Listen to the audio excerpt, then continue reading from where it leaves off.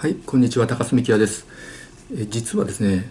あの今回のこのタイトル、全く同じタイトルでですね、2時間ぐらい前に動画上げたんですけど、すいません、この動画、その動画の上げ直しです。え前回の動画はですね、すいません、一旦削除させてもらってます。で、なんで上げ直すかっていうと、えーっと、まずですね、YouTube のコメント欄からのご質問なんですけれど、次の総理大臣は誰になりますか？三木谷先生は誰がなるべきだと思いますか？というご質問なんですね。で結論から言いますと、まあ、前回も同じことを話したんですけれど、えー、とまず次の総理大臣は誰になりますか？という質問に対してはまあこれは間違いなく、えー菅さんなんですね。で三木谷先生は誰がなるべきですか？っていう答えに関してもまあ消去法で考えて、まあ、菅さんになるのが妥当でしょう菅さんがま消去法でベターでしょうあベストでしょうって話したわけですねでその途中でですね石破さんのことに関しても話したんですけれどその時に僕話したのはまあ石破さんはあの今回総裁選挙でねあの当選してね総理大臣になる可能性はほぼゼロなんだけれど、まあ、石破さんの人柄ずっと見ててあの結構僕ね好きだって話したんですよ。まあ、ちょっと好きなところもあって、まあ、過去の発言とかね見てても好きなところがあってなので、まあ、今回は菅さん総理大臣になるし菅さんの総理大臣がねベストだと思うんだけれど、まあ、石破さんのね総理大臣もですね、まあ、ちょっと見てみたい気がするみたいなことをね言ってしまったわけなんですけれどまあそれに関して理由とかも話したんですけどまあこの YouTube の動画なるべく簡潔に短い時間で話そうとしててで前回のの動画もね20分近く喋ってしまったんですよ結構長く。でなるべくね簡潔に話そうとするとですねちょっと言葉足らずになってしまって、まあ、それに対してですねその僕がちょっと石破さんを推してるっていうことに対して反感を持った方がですねいろいろコメントをいただきまして、まあ、それに対してねちょっとあの反論っていうかねちょっと付け加えて話したいっていうので、まあ、前回の動画よりもちょっと長めに話させていただこうと思います。すいません。もう一度聞いていただけるとありがたいです。で、基本的には前回話した内容と一緒です。それに付け加えて多分時間が長くなると思います。20分超えてしまうと思います。はい、じゃあ早速話していきましょう。で、次の総理大臣は誰になりますかっていう質問に対しては、まあこれはね、間違いなく菅さんがなるわけです。もうこれはもう今回の総裁選はね、の完全な出来レースになっています。でなんで菅さんがなるのがねあの間違いないかっていうと、えー今回の総裁選は両院議員総会による、えー選挙になるということになりました。まあコロナ禍で、えー安倍総理が、まあ、突然体調不良で辞めるっていうことになってしまったので、まあ、緊急的に選挙するってことになったので、えー両院議員総会で、えー党員の投票は実施しないっていうことになりますね。でもうすでにですねあの菅さんをバックアップする体制が完全にできているわけですね。まあ、それはニュースでもやってるのであのご存知の方はご存知なんですけれどで菅さんを支援するのはまず二階派の47人国会議員あとは麻生派の54人細田派の98人竹下派のえ4人と、まあ、これだけバックアップしてくれればですねの国会議員の中の選挙でですねもう大多数を占めるわけで、まあ、それに対して、えー石破さんは石破派の19人と。岸田さんは岸田派の47人と。あとそれ以外に関しては無派閥の議員とかあと谷垣グループの16人。あとは、えー都道府県連による141票っていうことになるわけです。まあこれを見てもですね菅さんが、えーもう最初の一発目でね、えーおそらく過半数を取って総裁になるっていうのは、まあ、ほぼ間違いないというわけです。で、まあ、これに関してはですね、まあ、おそらくおそらくっていうか二階さんがもう裏で完全にフィクサーとして操っているわけです。あの二階さんがえーっと仕切ってですね他のグループをまとめていますので、えーよって菅さんが、えー総裁になるってことは決まっているわけです。はい、えーと、あとは三木谷先生は誰がなるべきだと思いますかっていう質問なんですけれど、まあ、それに関してもですね、まあ、消去法で考えて、まあ、菅さんが、えー、総理大臣になるのが最もふさわしいでしょう最もベストでしょうっていうことを、ま、前回もお話ししてそれは今でも変わっていないわけです。でなんで菅さんが、え、総理大臣になるのがベストかっていうとまあやっぱり今ねコロナ禍だからっていうのがありますよね。まあ、ずっと安倍政権で8年間やってきて、まあ、その女房役として官房長官としてやってきたわけだし、まあ、菅さん本人も自分が総理大臣になった場合は、えー、安倍総理の政策をそのまま踏襲していくって言っております。で、まあ、今コロナ禍なのでこのコロナ禍の中でですね、えー、例えば石破さんのような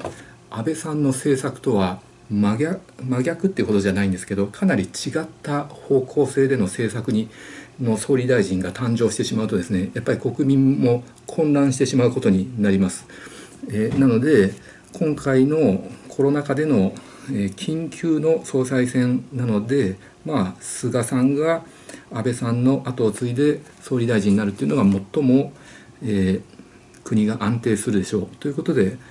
菅さんがなるのがベストだと思っています。まあ、それ以外にも菅さんに関しては僕いろいろ推しているところはたくさんあります。菅さんにはねたくさんの長所がありますんでで、まあ、菅さんの長所を挙げていくとなりますとまずですね、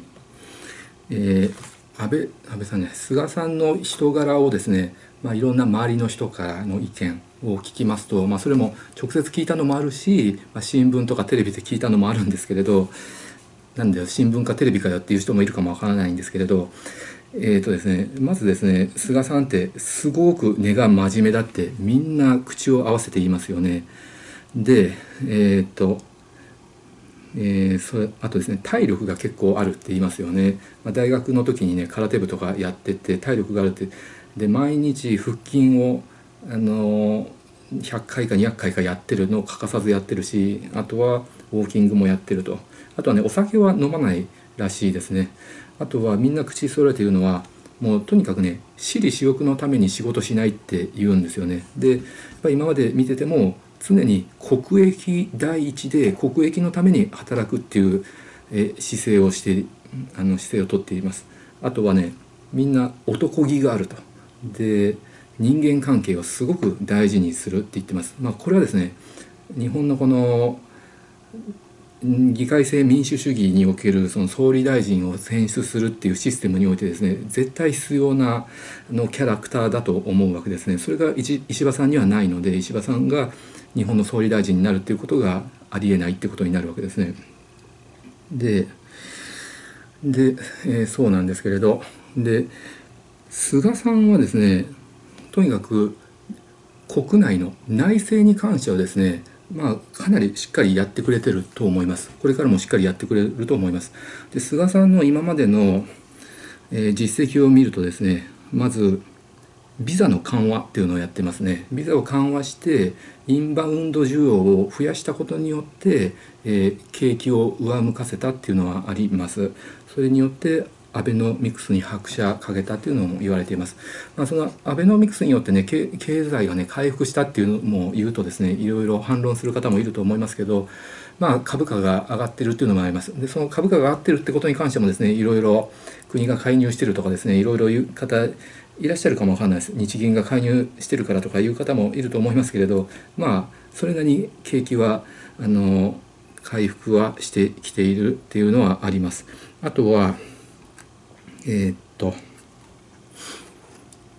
そうですね携帯電話の料金の値下げっていうのを実施していますよね実行できましたよねあとはダムに関してはダムの洪水の調節機能の、えー、調整強化っていうのも実績としてあります。あとは、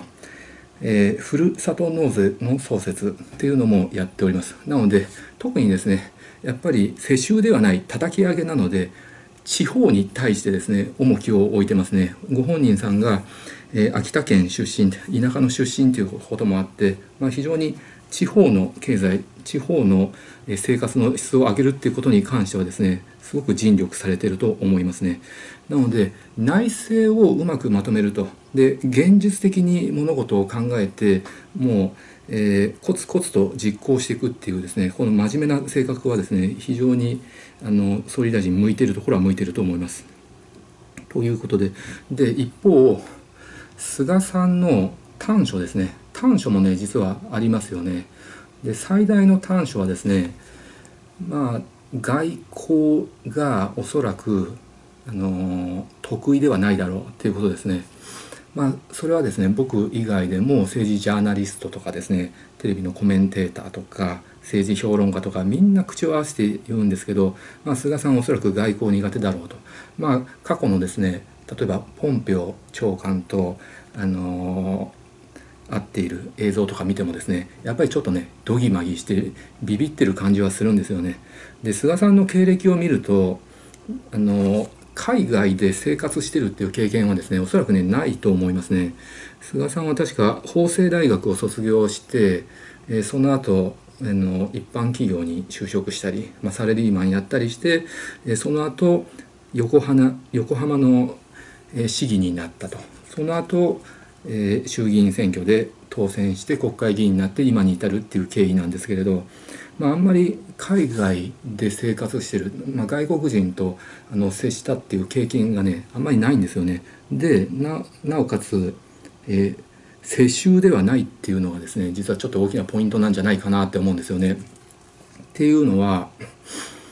世襲ではなくて叩き上げで頑張ってきて庶民の気持ちがよくわかるっていうのはですねすごく大きなポイントなんですけど世襲には世襲のメリットっていうのがあってですねそれはですね世襲の人間ってですね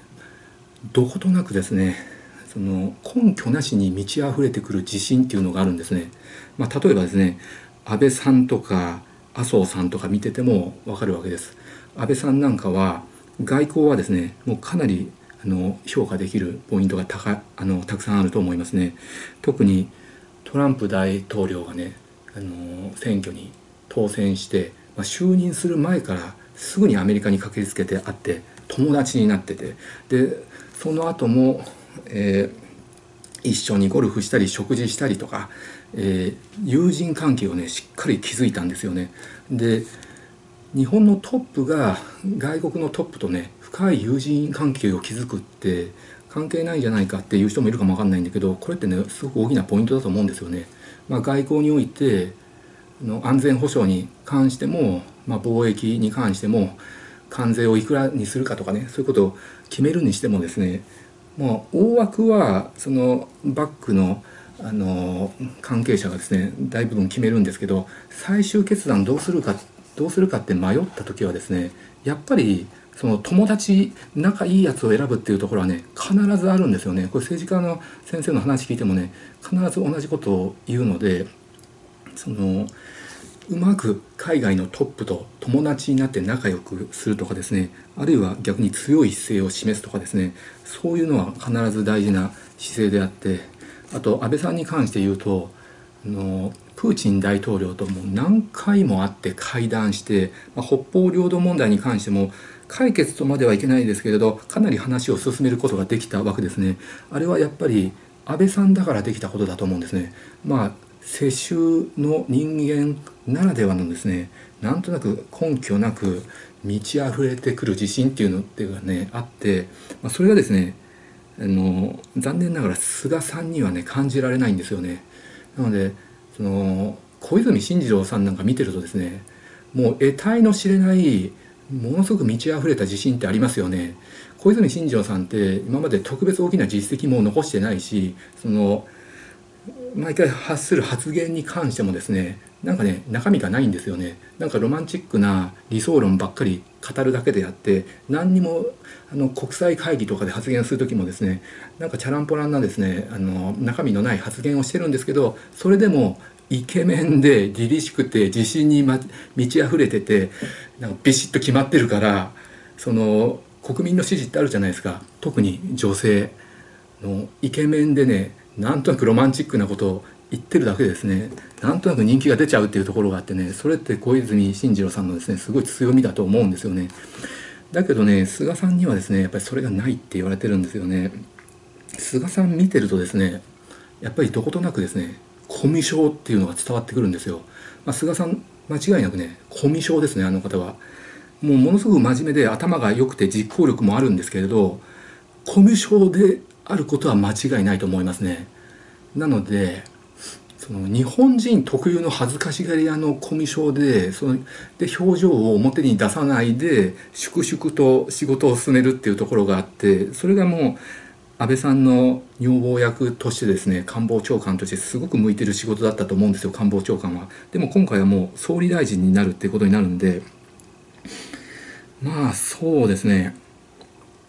菅さんってねザ日本人っていう感じなんですよね。ザ日本人っていうのはそのずっと日本で暮らしてて日本ば日本人とばっかり接してきたんだけど日本人ってもともとね恥ずかしがり屋の民族で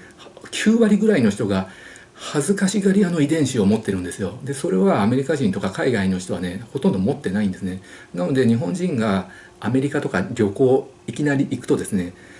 アメリカ人が「おう What's up?」とか言って、握手求められるとほとんど日本人で「おおおお」って「イエスイエス」とか言ってごごまかしちゃってドギマギしちゃうじゃないですか、まあ、それがね見えますね菅さんには。なのでもう間違いなく菅さんはね外交苦手ですね。あの海外の要人と友達になって一緒にゴルフするとかご飯食べてワイワイするっていうのはですねできない人だと思いますねなので、まあ、しょうがないんで菅さん総理大臣になった後は外交に関してはもう外交得意な人に任せるっていうのがいいと思いますね。まあ、例えばその英語が堪能な河野さん河野さんに任せると、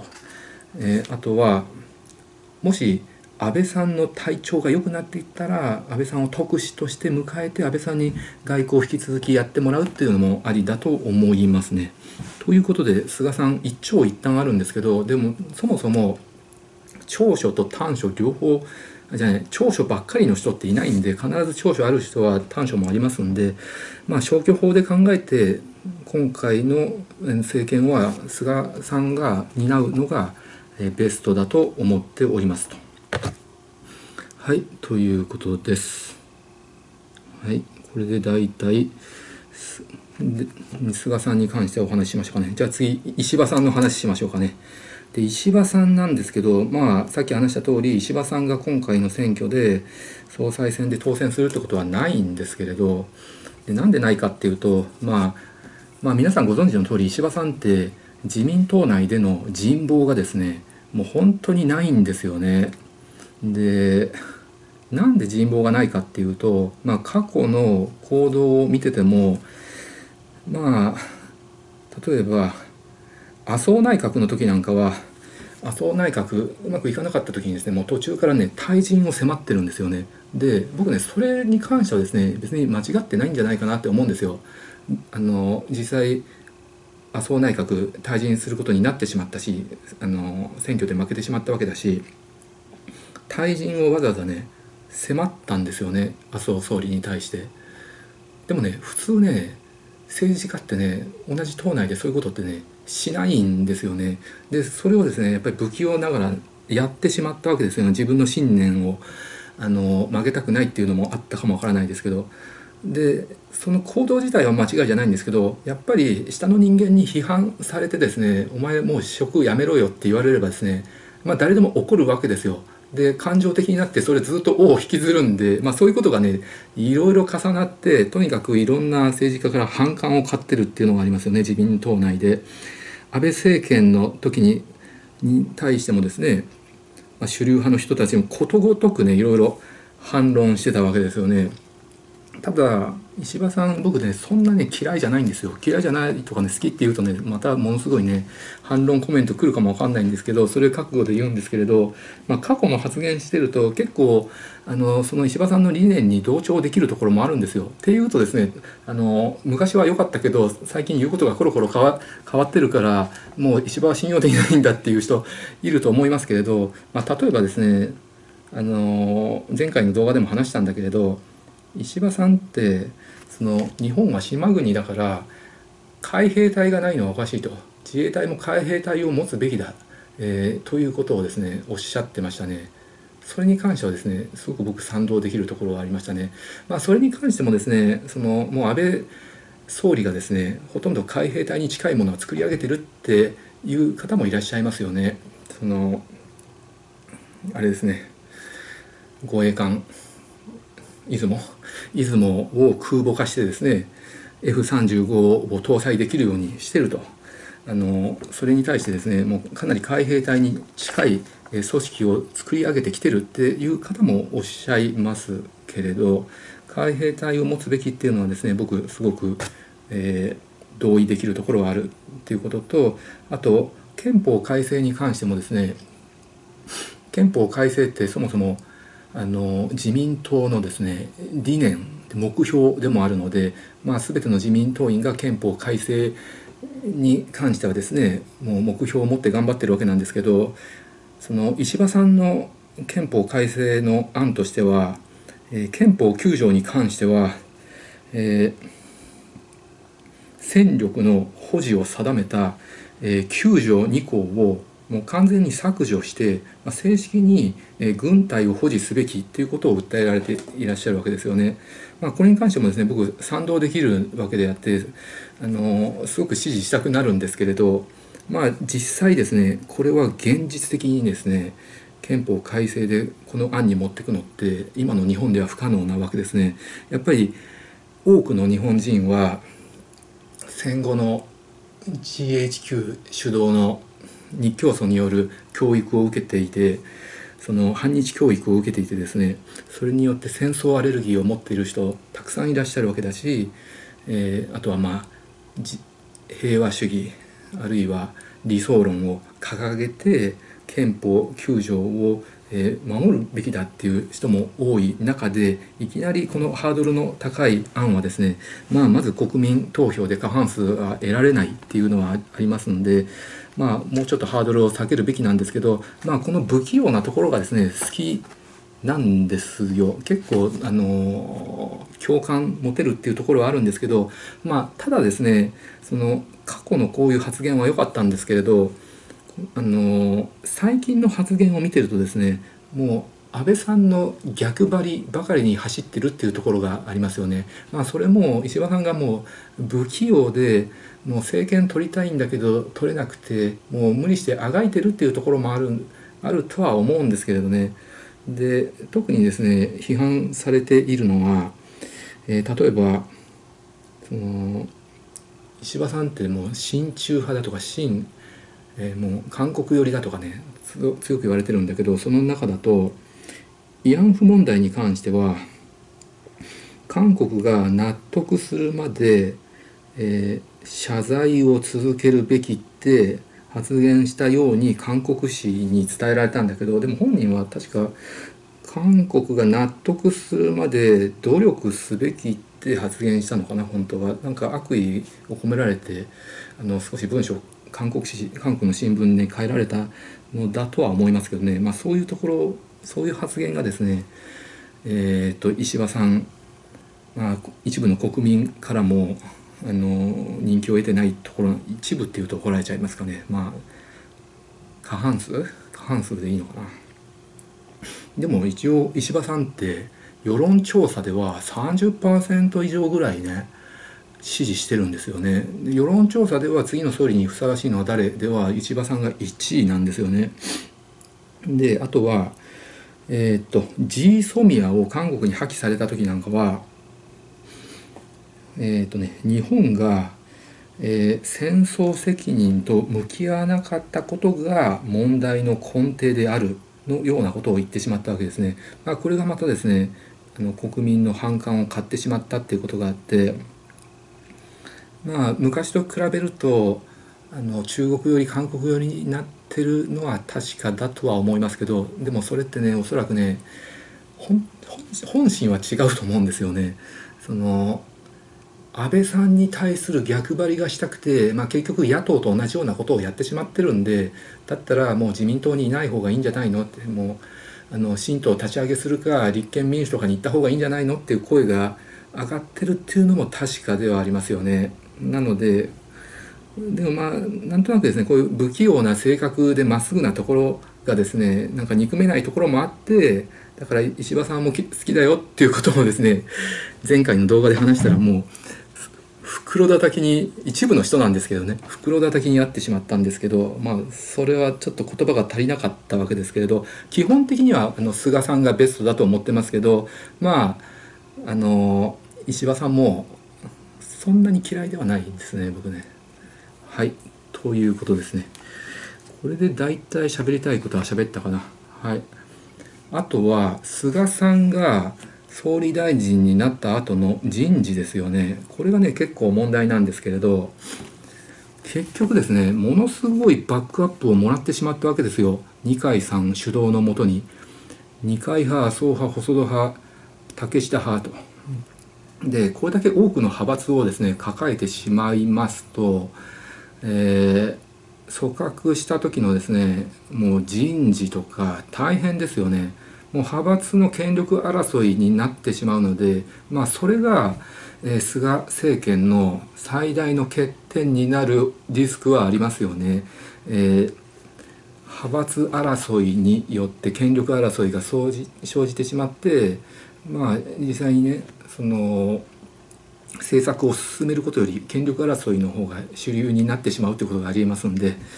でやっぱりね安倍政権の時と同じように今回も二階さんが完全に裏で操るフィクサーになるのは間違いないですね。今回の菅さんを持ち上げて菅さんを菅さんを総裁選で上げるってであのきっかけを作って主導してるのはですねもう間違いなく二階さんなのでで両院議員総会にしたっていう理由もですねこれも決定的に石破さんを完全に排除するっていうその目的のためにそうしたっていうのがあります。で石破さん意外にまだその日本に散らばってる全国の自民党の党員からはですね結構な支持が分かんないですけどねまあまああるので最悪石破さんがその党員票によって総理大臣にあの総裁に選ばれるっていうことをですねあの絶対に排除するために両院議員総会にしたっていうのもあって、まあ、それも二階さんがね裏で操ってる可能性が高いわけです。はい、なので二階さんは安倍政権の時と同じように、えー、菅政権のバックにねしっかりと居座ることになるのでで菅さんも二階さんのおかげで総理大臣にさせてもらったっていう恩があるので、まあ、その恩返しのためにですね二階さんは菅政権になってもおそらく幹事長留任になると僕はね予想しています。で麻生さんに関しても麻生さんと菅さんって仲悪い理由があの噂がですね結構絶えないんですけれど麻生さんにも貸しをあじゃない借りを作ってしまったので麻生さんにも大きなポストをですねちゃんと用意する必要があるのでまあ副総理として留任するかとか、まあ、それに準ずるですねあの大きなポストを与えるっていうことは予想されるわけです。なのでね、まあ、石破さんがですねその親中だ親中だって言ってですね批判する人もいるんだけれど二階さんもね結構な親中なので結局菅政権も親中派の政権になってしまう可能性は非常に高いですよね。はいということでございます。まあ、こんな感じですかね。ああと岸田さんのことは話しなかった。岸田さんはえー、っとあんまりですねその過去の発言とか聞いててもですねあんまり岸田さんの強い理念とか感じないんでで今回でも総裁選で立候補はしているけれど当選することはまずないんですよね。ただあの菅さんもですねひょっとしたらあの1年限定の総理大臣になるかもわからないですね。安倍総理の残った任期だけを全うして、まあ、その次また総裁選をする時には出馬しないとかですねそういう可能性もあるわけですよね。ただねそれは分かんないですね。あのまずは菅政権を始めてみてですね国民の支持が強い支持が得られたらそのまま続行するっていう可能性もあるわけであって、まあ、その場合は解散総選挙をしてあの自民党がね対象すればそのまま、えー、菅政権をですね続行するっていう可能性は高いと思います。なので菅さん1年間限定の中継ぎの総理大臣じゃないかっていう話もねたくさん出てますけどそれはねわからないですね。僕菅さんがずっとこのまま長期政権つあの続いていってもいいかなと思っております。であごめんなさい。岸田さんに関してはですね、まあ、よくわからないんで、まあ、今回は割愛させていただきます。はいじゃあ以上です。ご視聴ありがとうございました。